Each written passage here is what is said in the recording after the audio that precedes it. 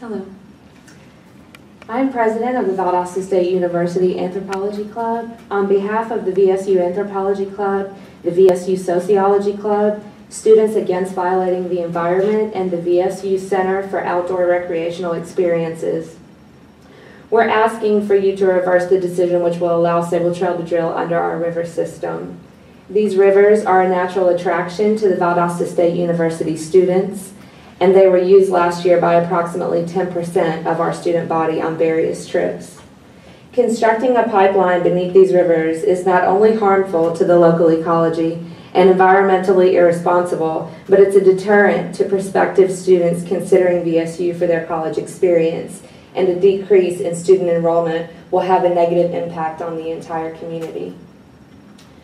I would like to um, invite everyone here, in, including you all, to attend Kayaktivism Day. This is a student-led demonstration in opposition to the pipeline.